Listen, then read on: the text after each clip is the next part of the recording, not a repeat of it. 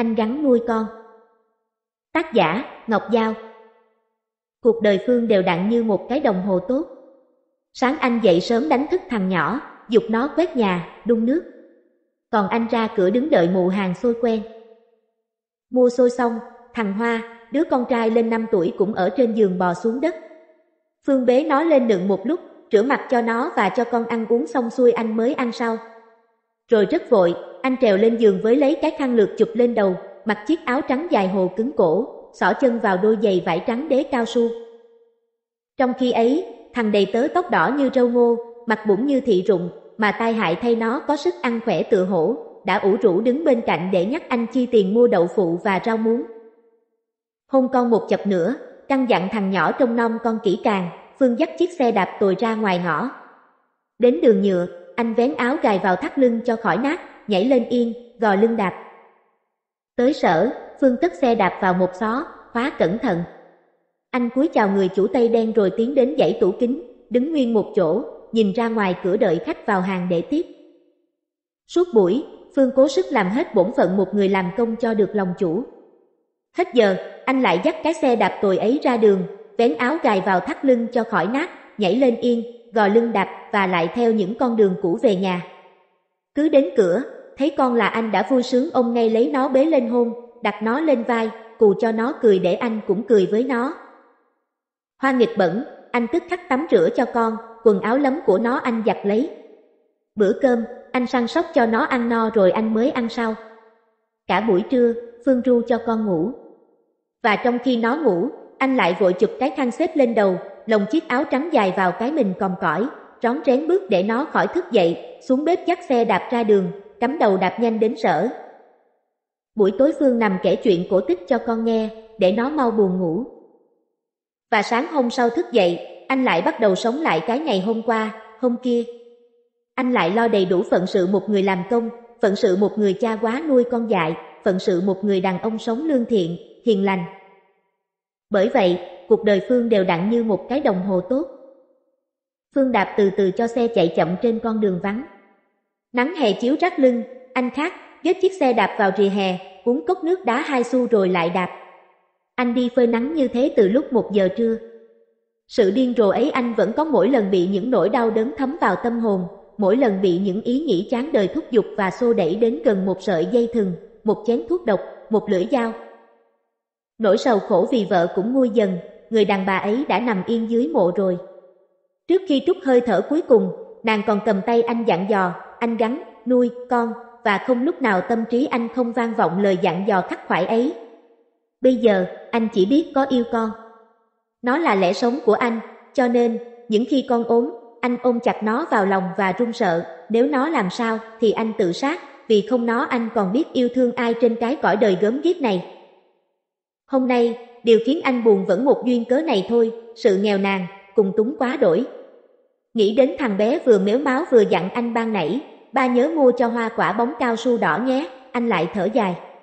Anh biết lúc này không thể mua cho con quả bóng cao su đỏ ấy. Có đắt lắm đâu. Nhưng than ôi, chẳng đã bao lần anh ăn cháo đấy sao? Hình ảnh con anh lại hiện lên. Ban nãy thằng Hoa chạy sang nhà hàng xóm. Một lũ trẻ nhà giàu súng nhau đá quả bóng cao su đỏ trên sân.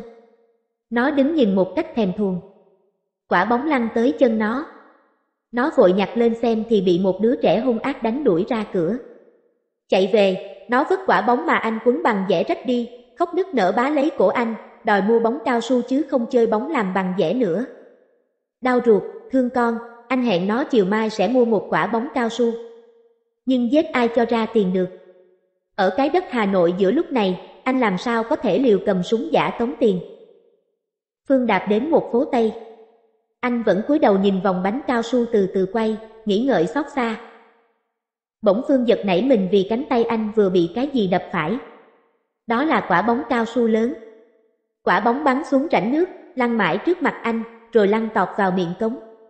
Đạp nhanh qua miệng cống, anh để ý nhìn, quả bóng bị mấy chiếc lá bàn che kín. Mừng rỡ, anh đạp đến đầu phố, dừng xe sau một cột đèn. Anh vờ đánh diêm châm mẫu thuốc lá để dành trong túi tự hôm qua, và liếc mắt nhìn trở lại. Anh thấy mấy đứa trẻ con Pháp đang ngơ ngác tìm quả bóng. Nhưng chúng chỉ tìm qua loa, không thấy, chúng chạy cả vào nhà. Phương sướng quá, mỉm cười rồi đạp xe đi.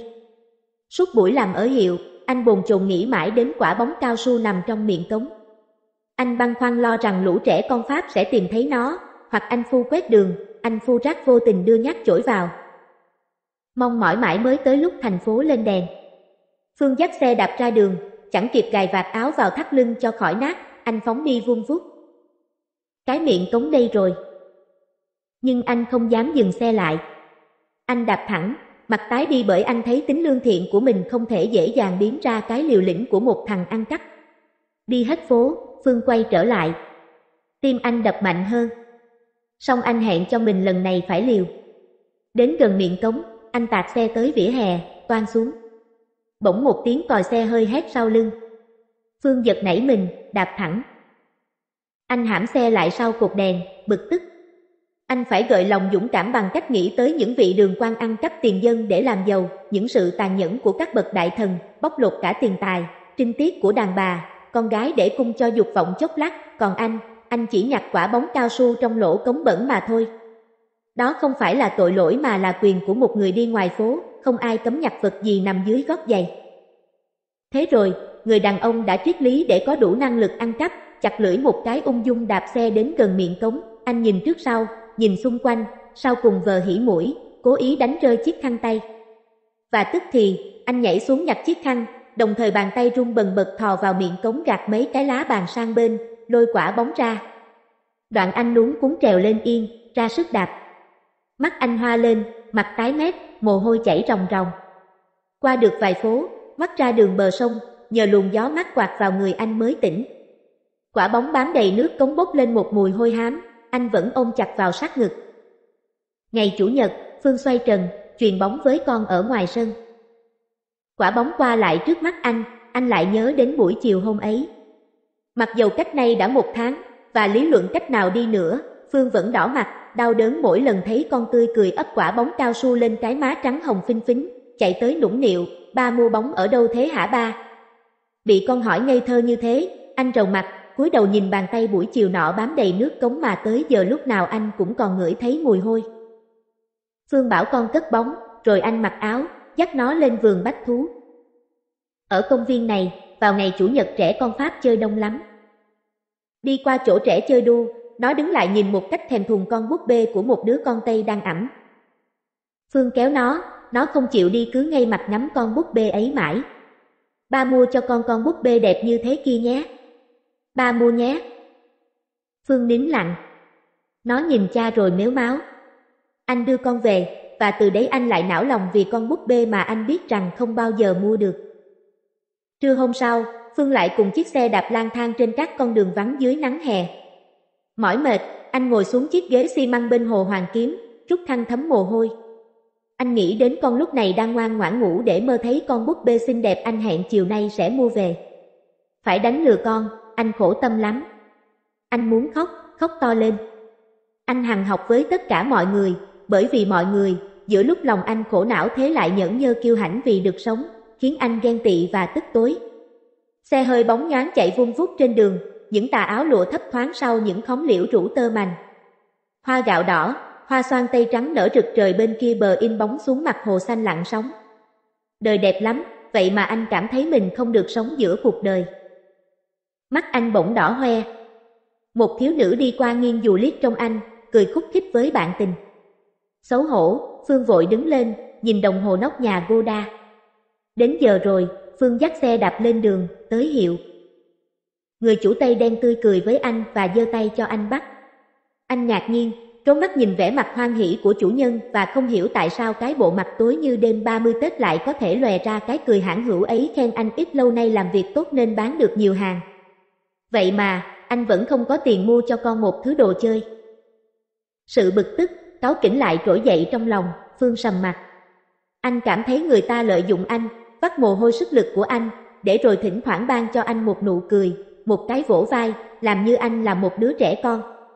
Thực là vô lý. Cơn phẫn quốc tự nhiên phát sinh một cách mạnh mẽ, khiến Phương rung lên. Anh muốn bóp cổ kẻ đã bóc lột anh, nếu không, ít nhất anh cũng phải làm một cái gì. Anh đứng thừa ra nghĩ, hai tay bám chặt vào thành ghế. Nhưng mắt anh nhìn thấy những viên cảnh sát qua lại ngoài đường, tưởng tượng một tay mật thám trong túi sẵn sàng sợi xích đang ung dung bách bộ trên hè phố kia thì sự phẫn quốc đó không dám đưa anh đến một hành động quyết liệt nào cả. Anh buông thõng hai tay xuống. Một chiếc xe hơi vút đến xịt đổ ngay trước cửa. Trên xe, một cô đầm xinh xắn, thò đầu ra nhìn vào trong hiệu. Tức thì, ông chủ anh ôm một bó hoa ra bước lên xe. Phương biết chủ đi tam đảo, ở cửa hàng chỉ còn anh và hai người làm công nữa. Nhưng họ đứng cách xa anh. Anh đưa mắt nhìn cái tủ đựng đồ chơi của trẻ con. Thốt nhiên, hình ảnh hoa lại hiện ra, và một giọng ngây thơ nũng nịu vẳng đến tai, ba mua cho con con búp bê đẹp nhé. Vậy lúc này anh có thể mua cho nó con búp bê không phải mất tiền, chỉ cần mất đi một chút lương tâm, hủy đi một chút danh dự làm người. Không khó khăn gì, chỉ mất một giây để trình xem có ai để ý đến không, y như bữa nọ trước khi thò tay vào miệng cống moi quả bóng, thế rồi anh cứ việc nhất ra con búp bê đẹp nhất. Phương quyết thi hành. Lần này tim anh không đập trộn bằng lần ăn cắp quả bóng cao su, và mặt anh cũng không tái lắm, tay chân anh cũng không run lắm. Người đàn ông lương thiện ấy đã đủ can đảm làm một thằng ăn cắp có nghệ thuật. Một phút sau, con búp bê đẹp nhất trong tủ kính đã nằm trong một xó kính, và năm phút sau nữa, Phương đã đem thoát nó ra đường, nhảy tót lên xe đạp. Hoa chán quả bóng cao su và bỏ quên nó dưới gầm giường. Bây giờ, nó chỉ chơi với búp bê, ba mua búp bê ở đâu thế hả ba? Mỗi lần con thơ hỏi thế, Phương lại rầu mặt. Anh khổ tâm lắm. Nhìn hai bàn tay mình, anh muốn khóc lên, muốn chặt nó đi, bàn tay này đã khoắn vào nước cống, bàn tay này đã thò vào tủ kính ngát mùi thơm, để ăn cắp những hai lần. Hai lần ăn cắp trong một tháng, chỉ vì chiều một đứa con.